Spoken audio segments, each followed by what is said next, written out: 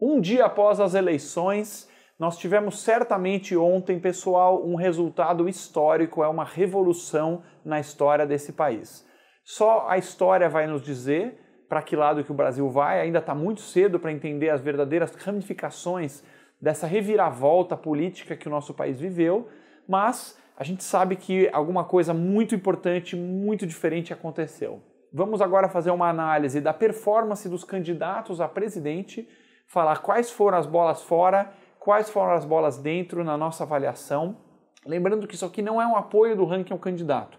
Nós estamos dizendo aqui se ele performou bem, se ele teve uma boa estratégia, se ele jogou bem o jogo ou não. Na nossa avaliação, houve três é, ganhadores das eleições presidenciais. Em primeiro lugar, João Amoedo, do Partido Novo, fez muito bonito, com quase 3% dos votos do país. Ele recebeu mais de 2,7 milhões de votos, um partido que surgiu agora praticamente sem tempo de TV sem uma bancada forte de apoios e sem usar o fundo partidário. Então, dada essa situação, João Amoedo mandou muito bem, é, recebeu quase 5% dos votos em São Paulo, elegendo oito deputados federais, fazendo com que o Novo passe a fazer parte do mapa político brasileiro. Em segundo lugar, Fernando Haddad, do PT, teve também na nossa avaliação uma boa performance. Isso não significa apoiar esse ou aquele candidato. Estamos dizendo aqui dada a situação política, dado a, os recursos, o tempo de TV, se a pessoa conseguiu fazer um bom serviço ou não.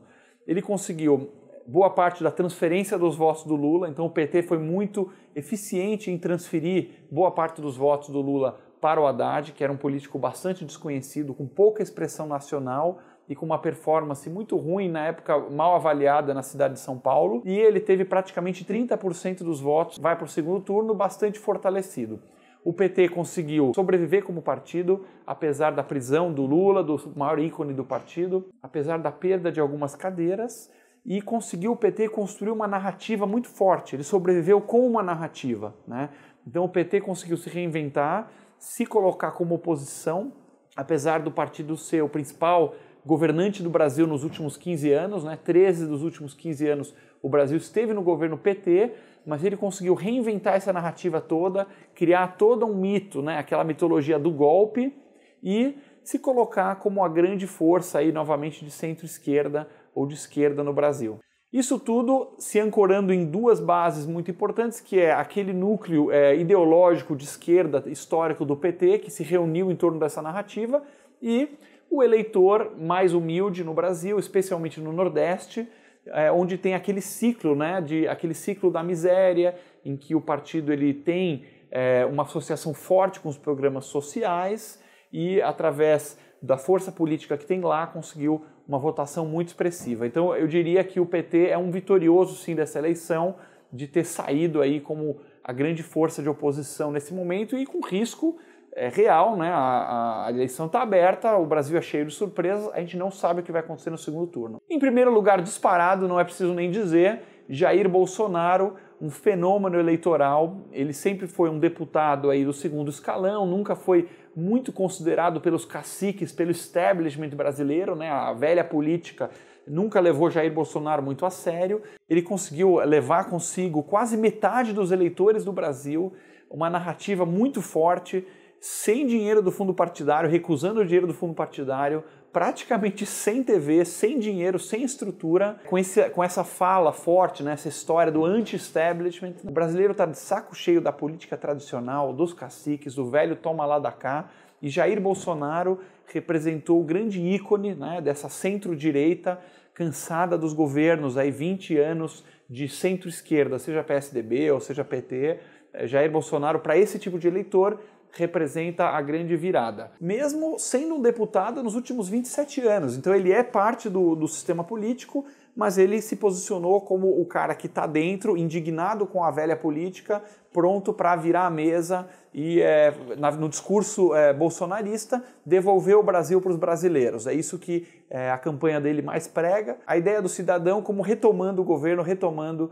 o poder político no Brasil. Não sabemos o que vai acontecer daqui para frente, mas certamente a performance eleitoral dele, levando consigo é, governador de estado, muitos senadores, muitos deputados e tornando o PSL do dia para a noite a segunda maior força política do Brasil. Então esses são os três ganhadores na nossa nossa opinião. A Moedos ficou muito bem na foto, o PT se reagrupou e conseguiu se posicionar como oposição a tudo isso que está aí. Ainda é o principal partido de representação no Congresso, apesar de ter perdido grandes lideranças, nomes muito fortes como Lindeberg Faria, senador, Dilma Rousseff ficou de fora, uma série de caciques ficaram de fora, mas o PT segue firme e forte, é um ganhador. E Jair Bolsonaro. Do lado das bolas fora, tivemos também três candidatos que fizeram muito feio. Em primeiro lugar, Henrique Meirelles, apesar de ter muito dinheiro, botou quase 50 milhões no bolso, tem tempo de TV, tinha o apoio de vários caciques, o apoio do MDB, o apoio do presidente da República, fez pouco mais de 1% dos votos. É uma vergonha. Em primeiro lugar, ele é muito ruim de fala, né? E Henrique Meirelles conseguiu ser associado com o pior dos dois lados.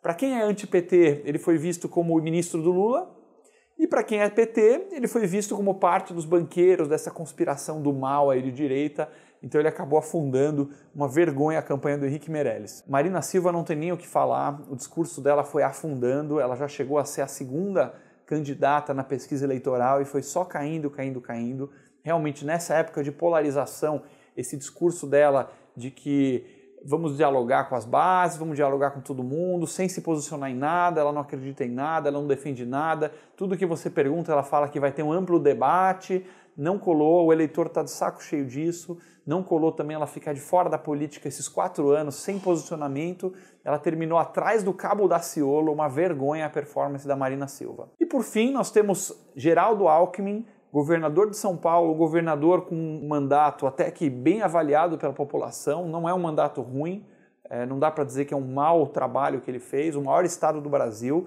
e ele teve uma derrota eleitoral terrível, tinha o maior tempo de TV, muito dinheiro, muitos apoios, não soube se colocar nem como anti-PT, nem como anti-Bolsonaro, ficou nessa conversinha de bater mais no Bolsonaro, deixar o PT de lado. Então ele não conseguiu capturar esse voto da centro-direita, que queria evitar o PT, e também da esquerda não ia conseguir voto mesmo, porque é um cara odiado pela esquerda. Perdeu para o Bolsonaro, perdeu para o Haddad, perdeu até para o Ciro em São Paulo, que é o estado dele. Então Alckmin é o retrato do PSDB dos últimos 13 anos, uma oposição fraca, uma oposição que não se posiciona, uma oposição tímida, uma oposição covarde, e o resultado está aí, as urnas deram o troco, o PSDB foi um dos partidos que mais perdeu cadeiras no Congresso. Então a gente tem aí emergindo um novo Brasil, não sabemos ainda o resultado do segundo turno, tudo indica que a menos ter uma reviravolta, Bolsonaro deve ser eleito, porque ele está muito perto dos 50% mais um, deve ser eleito, mas podemos ainda morder a língua, porque no Brasil nada dá para prever com certeza, mas o Brasil aí está emergindo como uma força política muito grande com o PSL, apoiada por partidos que cresceram, como o PP e outros, Partido Novo surgindo. O PT segue firme e forte como uma grande força aí da esquerda. Temos uma nova direita no Brasil, temos o PT renovado, como na opinião técnica do ranking dos políticos, um partido que teve sucesso sim nesse momento eleitoral. Continue seguindo o ranking, vamos soltar periodicamente notícias sobre o cenário político. Nos acompanhe nas redes sociais, no Face, no YouTube. Vamos começar a acompanhar agora os candidatos eleitos para garantir que eles façam um bom governo pró-cidadão, contra a corrupção, contra os grupinhos de privilégio.